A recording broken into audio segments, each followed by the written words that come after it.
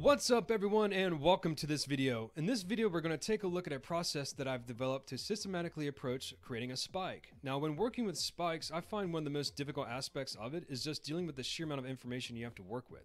You have to develop your classes, or define your classes I should say, you have to define your methods, you're not sure if you need modules yet, you're not sure about whatever. So there's just so much information that you have to deal with.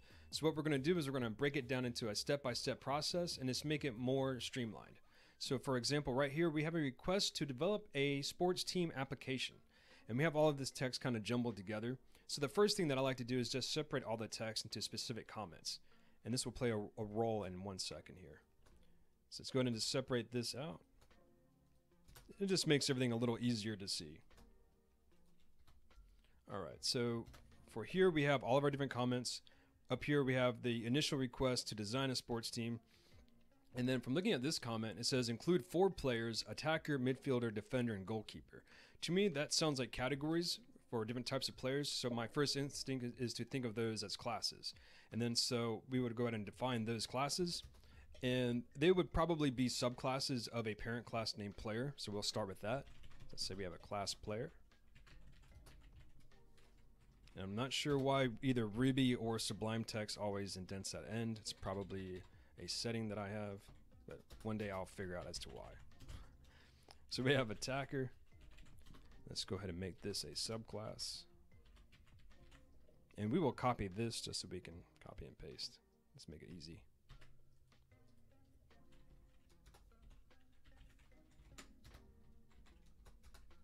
And we'll have class midfielder. So midfielder.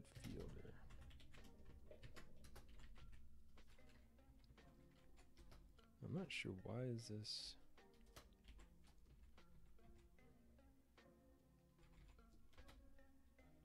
Maybe that's just different syntax based upon it being next to the capitalized P. See how this L is different? I'm not sure why it's doing that.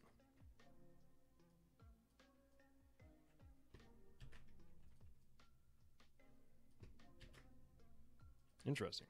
Oh, well, let's keep going. So we have class defender. Let's make that subclass player.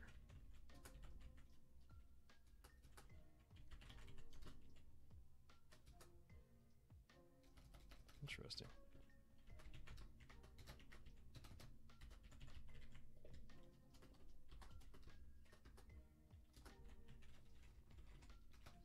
Okay, so we have our parent class player, and then we have our different subclasses of the class player. So what we'll do now is we'll go up to the top comment, and we'll just put a little plus there just to let us know that we've already finished this portion of our spike implementation.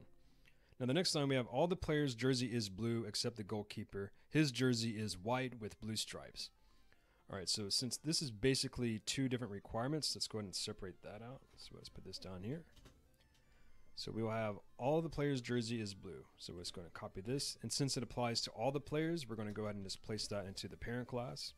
And now we have the goalkeeper's jersey. So let's go ahead and place that into his specific class here. And once again, we'll go back up here and place a plus just to remind ourselves that we've already implemented this portion. So now we have all players can run and shoot the ball. So since that's two different actions, let's go ahead and break that down to separate lines. And we'll go here and just copy it and paste it. So all players can run. So let's just paste that into the parent class. And all players can shoot the ball. So we'll place that here as well. And once again, let's go ahead and add our plus. Alright, the attacker should be able to lob the ball. Since this is only for the attacker specifically, we will place that into the attacker class.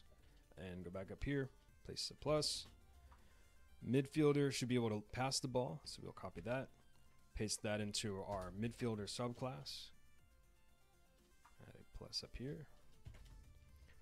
The defender should be able to block the ball, so we'll take this, place it into the defender subclass. Now here we have uh, the referee has a whistle. He wears black and is able to run and whistle. So the referee is like a separate category altogether. So since he's not a player, we're going to make our own specific class for him. So we have class referee. And let's go ahead and implement his comments into our specific class for him. So it's going to break this down into individual lines since there are different implementations required. So he wears black, he's able to run, and he can whistle. So we're just going to copy these into our class here.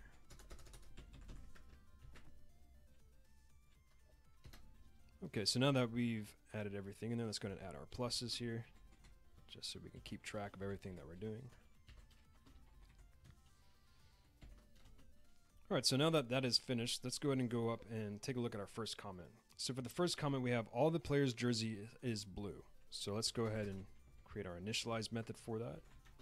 And since it's a default value, we're not going to create a parameter because all of their jerseys are blue. So we're just going to define our constructor method here.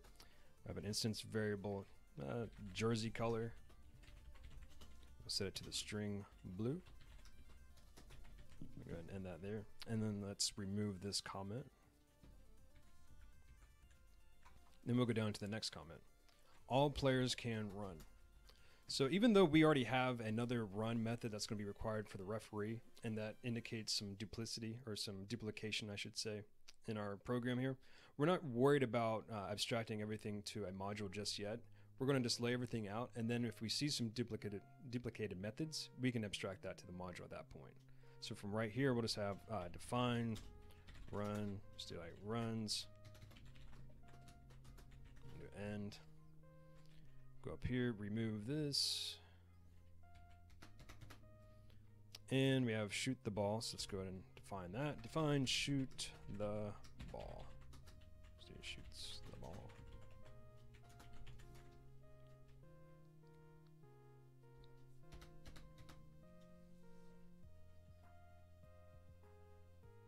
Okay, so then we'll go down to our next class here. We have the attacker. See, the attacker should be able to lob the ball. So let's go ahead and define a lob method, or just lob the ball. Lobs the ball. And erase that comment.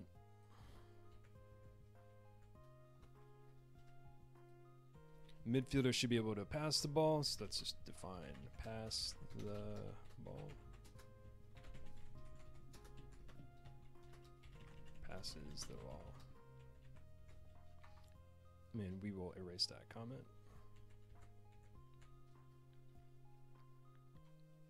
And for our defender, they should be able to block the ball. So we'll define block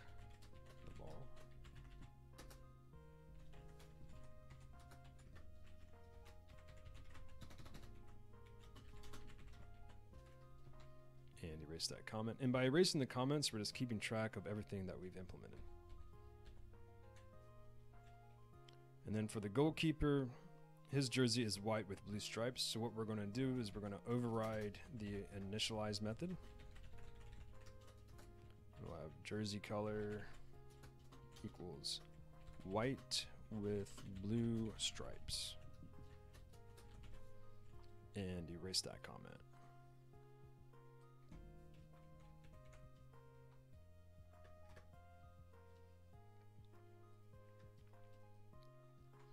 Alright, so now that all of these are done here, we can go ahead and add the implementation for our referee class.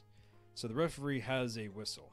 So I think for this, we would just set a boolean to true. So I say define initialize uh, instance variable uh, whistle equals true. Go ahead and end it there. Let's erase that comment. He wears black, so we'll just say uh, at jersey color equals black. Erase that comment. Now here we have he is able to run and whistle. So since these are two different comments, we'll create two different methods for that. Able to run. Let's actually just call it run. And he's able to whistle.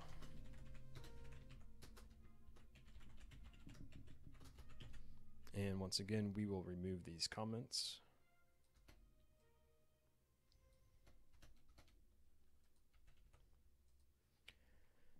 And naturally, if we want to have any of these uh, instance variables to be output when we run a program, we're going to either need a getter method or add a reader we could use. But just for right now, we're just doing this just to organize everything. We can add all that necessary functionality later. And that's relatively easy to do.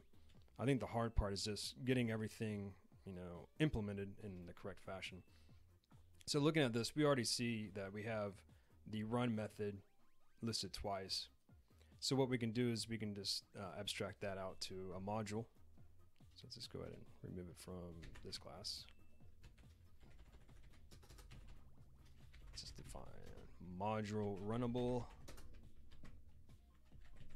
And then we will include that in our player class.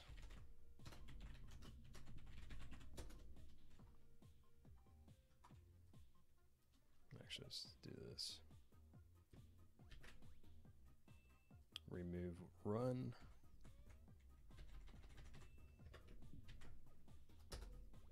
And there you have it. You know, this is a, a, relatively basic example of implementing a spike, but I think the overall approach to breaking everything down, having a systematic process for implementing all of that information will make it a lot easier. So I hope this helps you out. I appreciate you checking out this video, and until next time, take care.